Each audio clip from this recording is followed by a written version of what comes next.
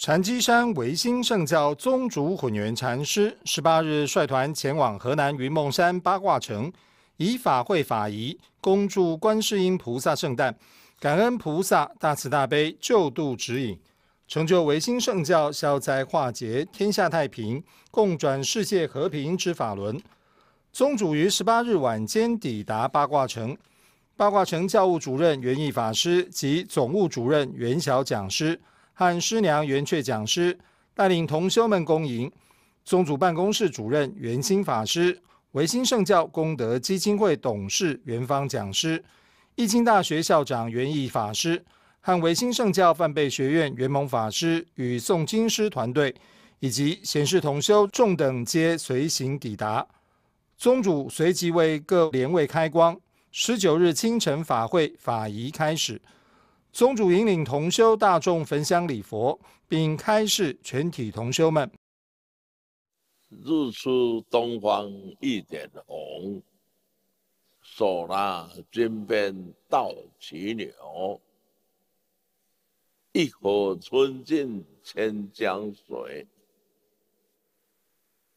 消灾化解，救世不辞劳。这一首祭文是太上道祖啊的禅机，也是王禅老祖的师父太上道祖啊。我们今天在河南云梦山八卦城生产。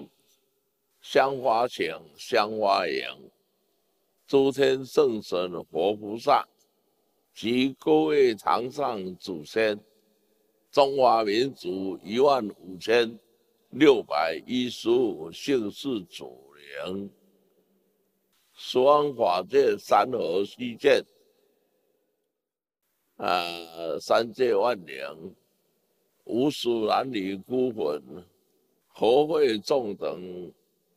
全部进入云梦山八卦城，黄山老祖圣殿，端坐莲台，啊，恭祝观世音菩萨圣诞。日，台湾维新圣教换贝学院。由袁松院长及教务长严蒙法师所带领的换贝诵经法师，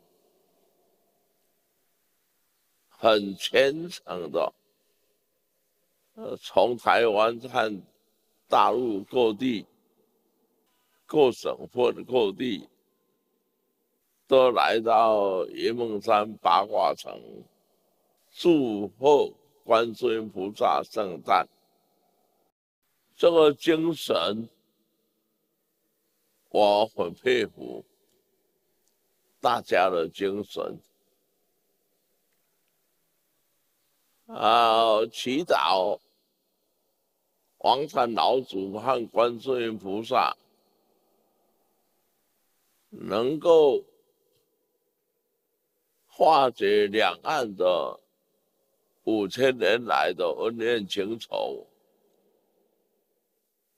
心连心，手牵手，共创两岸一家亲，天下永太平。